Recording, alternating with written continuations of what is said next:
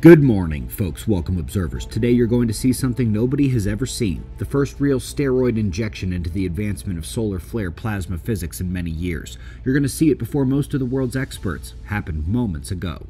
As we watch the full last 24 hours on our star, the big picture story is that an X class solar flare launched from the Northern Sunspot Group earlier this morning, and we are so absolutely lucky because most of the plasma got snatched by a nearby filament. We still have a CME on its way to Earth, but here's some close-up shots of that X-class flare and plasma event. Normally, there is a dense inner coil of the CME and a wider burst of faint plasma as a shock wave.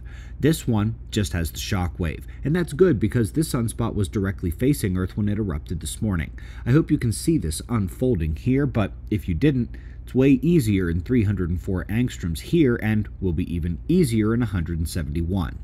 Instead of releasing, something else happens. Have you ever seen one of those clips where some dude is about to punch a little guy, but then a bigger guy comes out of nowhere and catches the punch? There was a scene like this in District 9 where Wikus catches the missile they fire at the father and son in the ship to save them.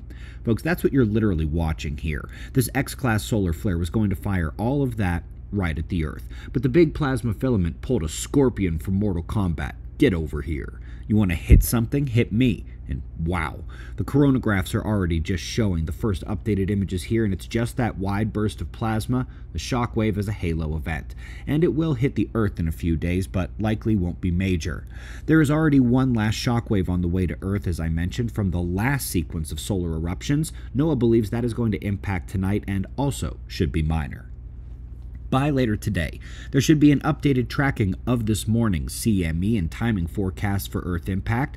Right now, folks, there are going to be dozens of papers written about this. I doubt they will frame it as the Earth Savior as I did, but I can promise you there can't be more than one or two sequences in the history of solar science observations showing anything even remotely close to this.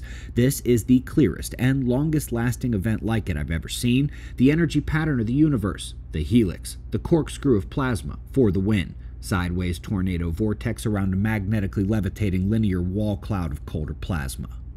Some other quick notes 6.8 in strong aftershock struck Japan this morning, luckily well offshore. The scientists studying solar flare driven quakes should note this occurred during the X class solar flare this morning, right after it peaked.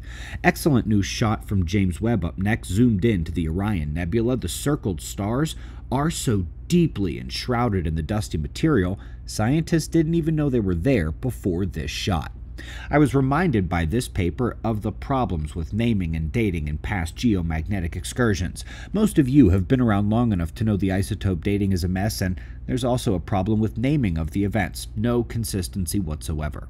Here, we see stuff all over the place. Laschamp number 2, not too bad, but they have Michoacan labeled as Mono Lake. Lake Mungo is labeled as Rockall and about 2,000 years too old. Hilina Pali is pretty close, but Gothenburg is 1,000 years too young, and they're calling it Tianqi, which is actually the NOAA event 6,000 years ago. Folks, this is why there is not global, widespread agreement about what is happening to this planet.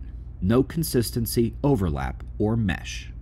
Lastly, folks, really trying not to add to the interest in Comet Atlas, but once again, brand new images are showing it is exactly where it is supposed to be. No smaller craft nearby, no slowing down, no speeding up. Electronegativity driven tails, all making sense. I am really sorry if you've heard something different or you have gotten really excited. The internet makes this stuff up all the time. This is the fifth comet I have seen them work like this after Siding Spring, ISON, Elenin, and Lovejoy. This is a comet and already slinging around for its exit back into deep space.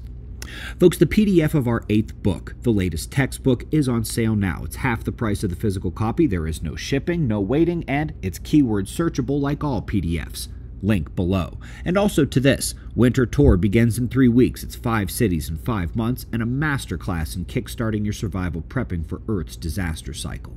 Lastly, folks, August Dunning is on his way to Colorado for the premiere of the documentary and the final pole shift conference of the year this weekend at Observer Ranch. There are several other family and social events to close out the year, and those are always when you have a better chance for one on ones. ObserverRanch.com. We greatly appreciate your support. We'll do this all again tomorrow.